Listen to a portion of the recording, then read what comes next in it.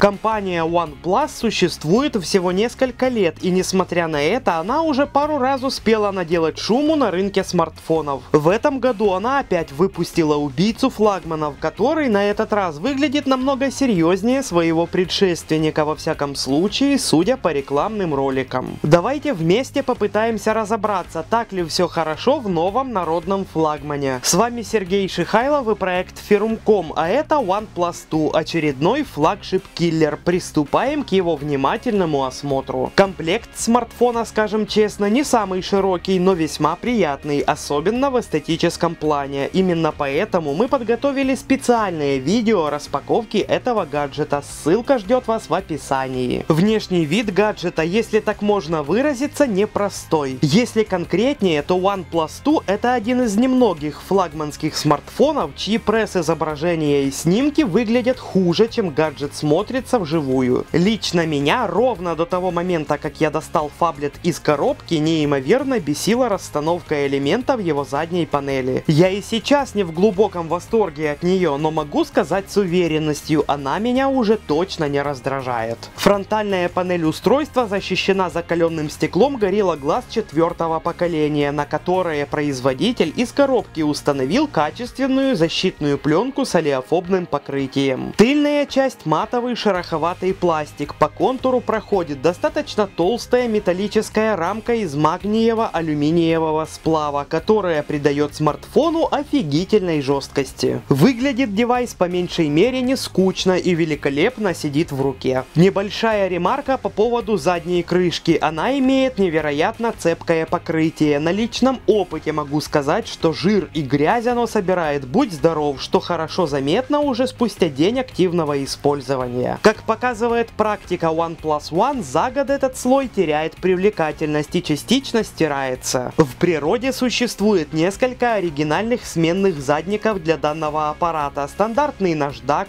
кевлар и три деревянных крышки. Хотите увидеть их микрообзор? Пишите в комментах, закажем, привезем и покажем вам. Под этой самой задней крышкой находится лоток под две нано-симки, что как бы намекает на Dual SIM функционал девайса. Построен он вокруг одного радиомодуля. К чему это приводит на практике, надеюсь, вам понятно. К работе симок вообще никаких претензий нет, как и к функционированию смартфона с беспроводными модулями типа Wi-Fi, GPS, GLONASS, Bluetooth и так далее. К слову, NFC в девайсе нет. Помимо того, под задней крышкой проживает несъемный аккумулятор на 3300 мАч. На практике мне его полного заряда хватало чуть более чем наполовину моего активного рабочего дня. Целый день никак. Ближе к вечеру по-любому на зарядку. Полагаю, те, кто практически не играет на телефоне и не использует LTE и 3G, а также понятия не имеет, зачем смартфону камера и 4К видео, смело могут рассчитывать на сутки пару эксплуатации. Относительно корпуса смартфона у меня есть еще три вещи, которыми я обязан поделиться с вами. Итак, первое. Под экраном аппарата располагаются три сенсорные кнопки. Так вот, центральная, та что без подсветки и с ободком совмещена со сканером отпечатков пальцев. Работает он хорошо, здесь претензий нет вообще. Также хочу отметить, что этот сенсор активен всегда. Для его запуска не обязательно предварительно включать экран. Второе. Триггер переключения режимов оповещений. Таких существует три. Только приоритетные. Выключить все и допускать все. Крутая ли эта фишка? Думаю, да. Такая себе альтернатива переключалке в яблоке. Третий момент. Порт USB Type-C. В чем его особенность? В такой разъем можно вставлять кабель любой стороной. Они идентичны. Полностью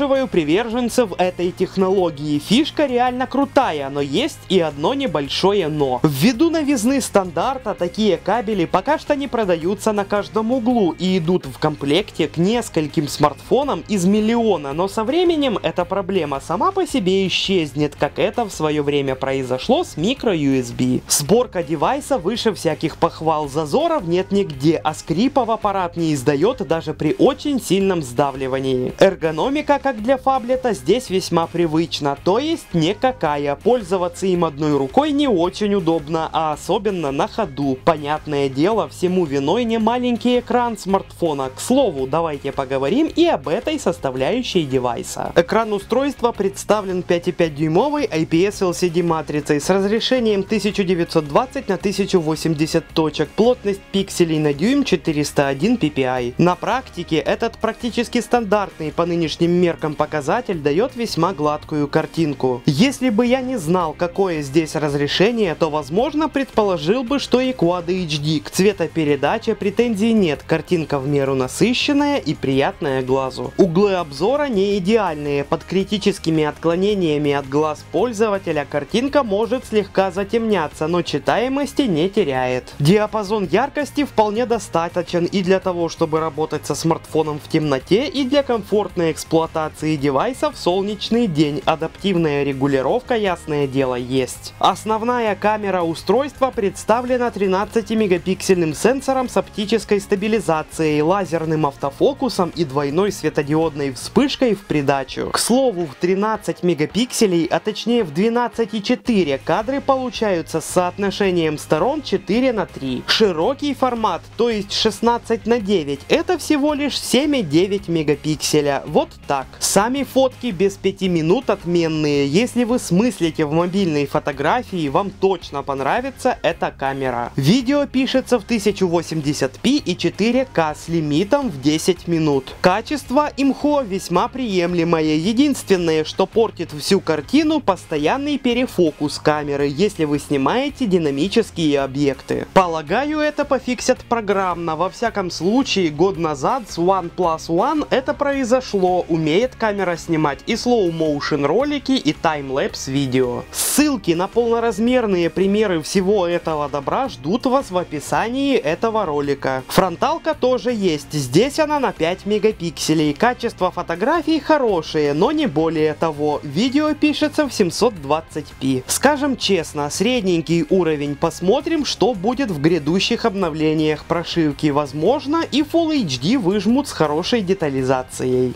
Аудиофилия – дело тонкое, и, видимо, для калибровки звучания этого гаджета через наушники разработчики взывали к помощи людей знающих. В этом плане смартфон показывает себя просто охренительно, уж простите за иврит. По этому показателю, конечно же, имхо гаджет лично для меня, если не номер один, то что-то очень рядом с этим. Запас громкости есть, детализация на пятерку присутствует и гибкий эквалайзер. К слову, спецы из iFixit здесь обнаружили аудиоусилитель NXP TFA 9890 с кодеком Qualcomm WCD9330. Видать, железячки делают свою работу, меломаны точно одобрят. Мультимедийный динамик в фаблете 1 располагается он за правой решеткой нижнего торца. Выдаваемый им звук средненький и по качеству, и по громкости. Здесь девайс хвалить не за что. Аппаратная платформа устройства представлена, так сказать,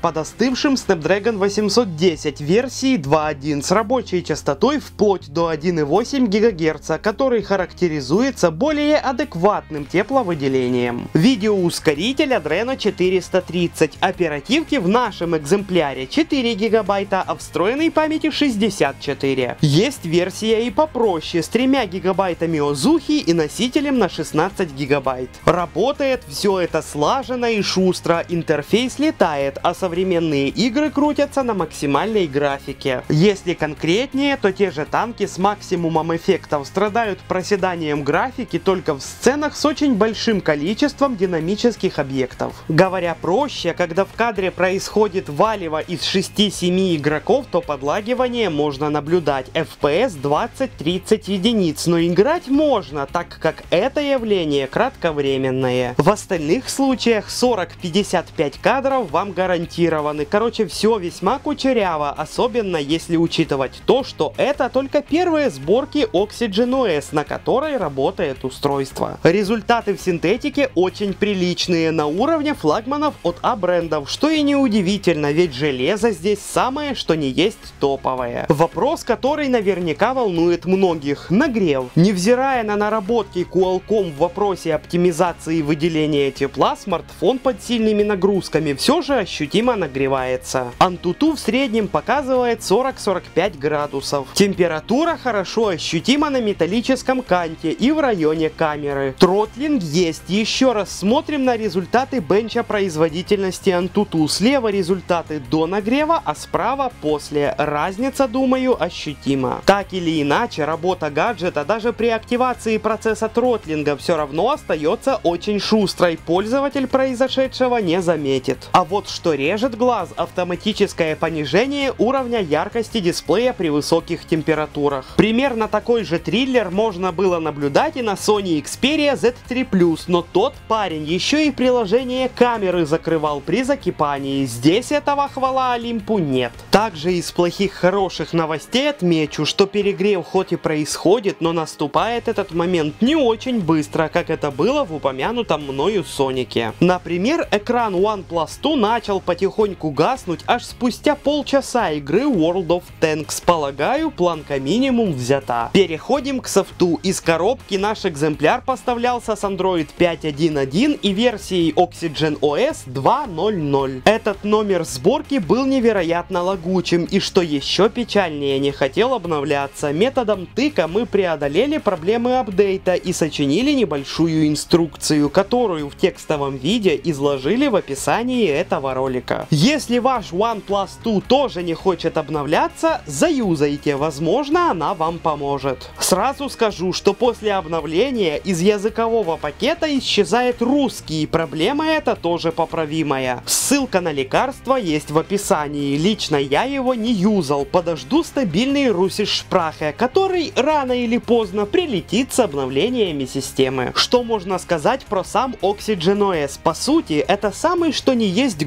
голый зеленый робот, но с целой горой мелких и не очень твиков. Вот вам несколько примеров. Первый. Пользователь вправе самостоятельно настраивать тона оформления оболочки, светлый или темный, основную цветовую схему, а также палитру нотификации светодиода. Вариантов предостаточно. Удобно и практично. Одобрямс. Также обладатель смартфона может включать или выключать софтверные наэкранные кнопки. Выбор это всегда хорошо. Лично я приверженец аппаратных. К слову, для них также можно настраивать действия. Например, за double tap ом по кнопке «Домой» можно закрепить запуск камеры, прямо как в Galaxy S6, а за долгим нажатием блокировку экрана, как в смартфонах Meizu. Жесты погашенного экрана, которые мы видели в OnePlus One, никуда не делись, они на месте. Double tap – пробуждение, латинская буква V – фонарик, буква О – камера и так далее. По крупному счету у меня все. В целом ось стабильная, но иногда шалит. На самой первой сборке не работало приложение YouTube, да и косяков поменьше тоже было в достатке. Впрочем, я об этом уже говорил. Сейчас этого нет. Работа программистов на лицо. Пришло время подвести итог. Раздобыть этот смартфон сегодня не проблема. Он уже есть в ассортименте каждого уважающего себя китайского интернет-магазина. Цены на старшую модель стартуют от 430 долларов, а на младшую от 380. Не хотите рисковать и прикупить девайс по месту? Не вопрос, докладывайте сверху 50, а то и все 100 зеленых и будет вам счастье. Стоит ли этот аппарат своих денег? Скажу как человек, который уже перещупал все флагманы от А брендов. Да,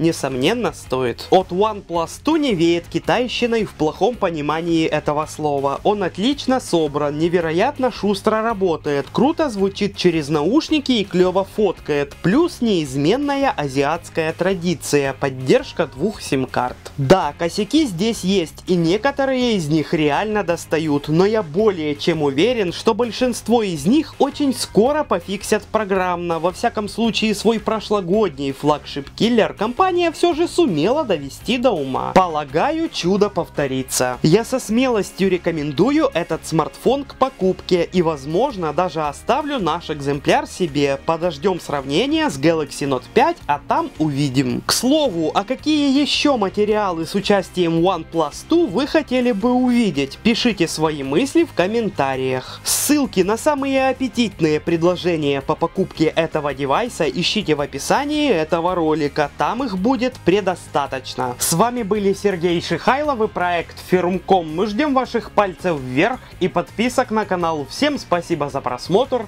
Пока!